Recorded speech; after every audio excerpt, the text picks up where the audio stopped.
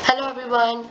Hello. Today I'm going to teach you how to find the bubble point temperature of a binary mixture which is 40% pentane, 60% hexane and we're going to do this using Raoult's law and Antoine, and Antoine coefficients. There's multiple ways to find these but I'm just going to explain the method using Raoult's law and Antoine coefficients.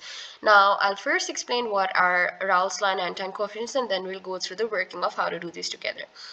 So this is the Antoine equation which talks about the vapor pressure and it relates it to a certain temperature at which using certain co coefficients A, B and C and these coefficients are specific to the vapor pressure and temperature and they're specific to each unit. And these Antoine constants are given given when temperature is in Celsius and pressure is in millimeter Hg so our Antoine constants would change if the unit changes and they're specific for each component. So they're given here. And now when I've explained the Antoine coefficients, let me just move on to telling you what's the bubble point. So we have a mixture, a liquid mixture, which is 40%, which is 40% pentane, 60% hexane. We start heating it. And after some time, uh, it's going to turn to gas. So the temperature at which the first bubble forms that is called the bubble point temperature. And now like from here we say that the mixture has 40% and 60 these values are given. Now i'm not sure if this these are liquid mole fractions or vapor mole fractions but with this clue i know bubble point is when like a liquid turns to a gas when the first vapor is formed. So these present concentrations are liquid mole fractions or xi or x com x compositions. So liquid mole fractions are represented by x and vapor mole fractions are represented by y. Now I know these are x. Now moving on now that I've explained what's bubble point now moving on I'll explain what's Raoult's law now, first of all, let me start by saying that all, all liquid and all vapor fractions of all components must add up to 1. Now, explaining this, this is, let's say this is a mixture. 40% of this is pentane and 60% of this is hexane. And then we heat it. We heat it, we get a mixture, a vapor liquid mixture, which is both liquid and gas so in the liquid, all liquid components, all liquid mole fractions must add up to 1 and all gaseous mole fractions must add up to 1. Let's say this is as simple as saying 20% of a liquid is hexane and the rest 80% is pentane or 20%. So this is as simple as saying this. So all of the liquid, X is liquid, all of the liquid composition should add up to 1, should add up to 1 and the all of the gases should add, add up to one. This is as simple as saying like yo 30 percent of vapor should be should be one component let's say pentane and the rest of the 70 percent should be equal to should be equal to the other component for example hexane. Now moving on i've explained uh, that the the liquid and vapor mole fractions should add up to one. Now there should be an equation to connect these liquid and vapor mole fractions and this is K. So this K over here is the vapor liquid distribution ratio and it is and it connects the liquid and vapor mole fractions through an equation where which says y is equals to kx as given over here. And some facts about that, that K is dependent on temperature and pressure. And you can also read off this value, the K value from DePriester's chart, which I'll get to in another video.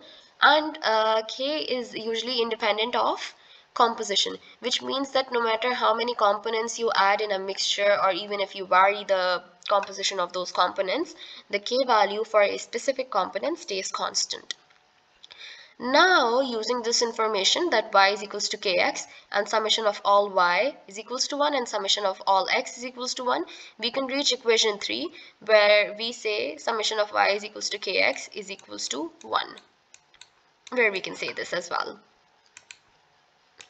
now, moving on, uh, I'll explain what's Raoult's law. and Dalton's law. So Raoult's law expresses the mole fractions in liquid and Dalton's law expresses mole fractions in vapor. And it is a way to calculate, both of these are a way to calculate partial pressure. Now, uh, I'll start with Dalton's law. It's just as simple as saying that partial pressure, partial pressure is equals to Yi P, Yi P total. So Yi is the uh, mole fraction of a certain component in the vapor phase.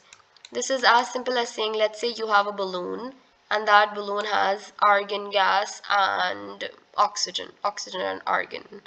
So let's say the pressure P partial this is total partial so the pressure existed but like this is just argon and this is the rest of this is oxygen and this is argon so let's say the pressure exerted by argon which is p partial is equal to is equal to its smaller its smaller vapor composition multiplied by the total pressure. Okay so like both all yi pi this is this is the partial pressure. Then moving on to then moving on to Raoult's law it also says the partial pressure is equals to xi which is the liquid molar composition multiplied by the vapor pressure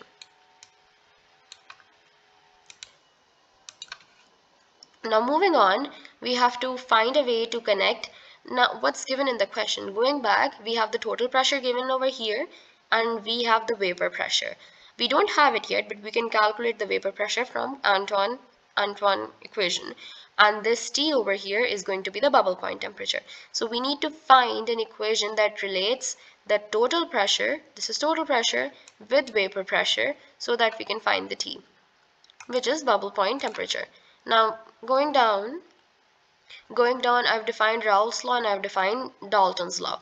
Now I see that the partial pressure is common over here so I can I can substitute these sides of the equation equal to each other and this is how I've written this equation and using the k value I can write y is equals to uh, y is equals to ki xi using this value I can come up with ki is simply y over x now I have simply come up with p vap is equals to p total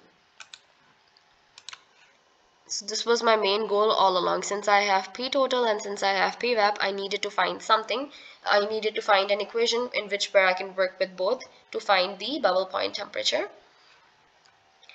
Moving on, uh, my xi's are given, which is the liquid mole fractions. And um, since I cannot read off my k values from the de chart, I would ideally calculate them.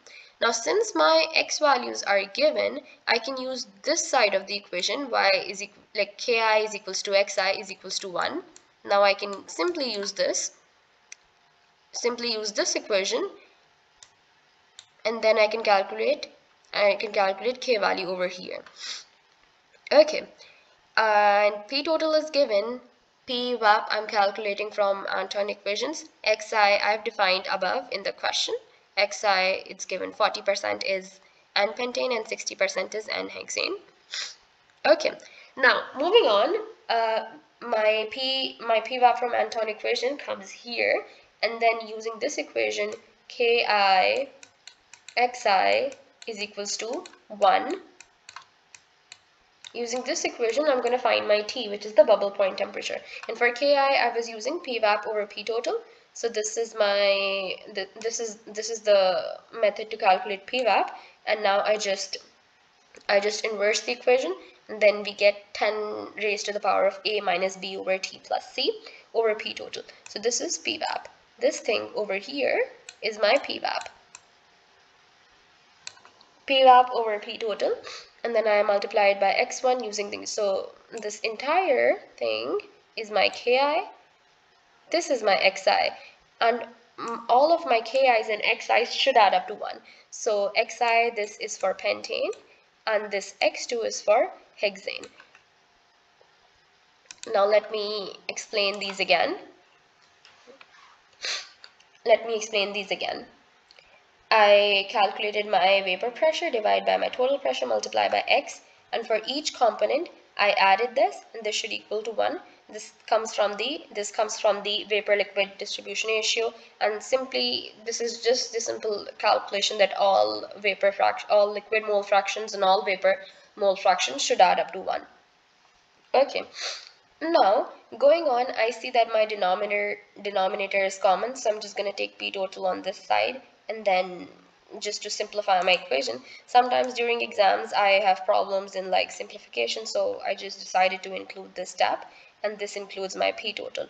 Now inserting all the values, I decided to take that step as well. For my first component, which is pentane, I inserted all of the A, B, and C values 6.8, 1000, and 233. So in my and for my first component, I put A minus B over T plus C. Notice that I've kept T as T because this is something which we're going to find later. Okay, and now you see that this is quite a bulky equation. Either we can use it, either we can solve it using the solve function on calculator, but not all calculators are not equipped with that function. Or we can solve it using Excel, or let's say you're stuck in an exam and you want to you want to solve it by a trial and error method. What I'd like to do is solve it with like by inserting different values. Now, what I'm trying to do over here is I'm going to bring 760 on the other side and I'm going to set my equation to 0. So I'm going to set the right hand side to 0 and we insert different values of t and then we obtain a table. Now there's a certain trick. See, bubble point is when a liquid mixture, so this is a completely liquid mixture, it turns into gas. It turns into vapor. Okay, it turns into a liquid vapor mixture and later it just turns into vapor.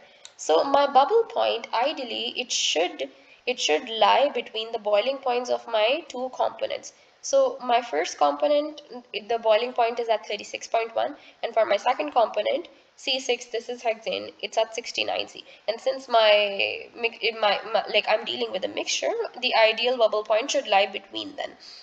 Now when I'm inserting values, I first start with 36.1 and then I move on to 69. And I'm, I'm trying to set it to 0 so from here I can see that you know in the absolute value like using the absolute values I can see that my boiling point is closer to 36 than it is to 69 so I insert the value uh, for 40 for T and then we see I've, I've gotten even closer. So it means it's it's a little bit closer to 40 so I put 50 and then I've gotten super close to 0 and then I put 52 I got I've gotten really now this is as simple as this like you know 36 and 69 so in the beginning I got to know that my value is a little bit closer to 36 like here in this direction. And then I put for 40 and I know I need to move in this direction. Then I put for 50 because it's negative 233 I need to move in this direction. And then I put for 52 and I finally get 24 so I know that my value lies between 50 and 52 and 51 gives 0.2 so this is my answer so my bubble point is going to be 51 hope I explained this to you and please like and comment on my video and let me know if you want me to solve more questions again. I'm starting out so your comments are gonna help me a lot. And thank you so much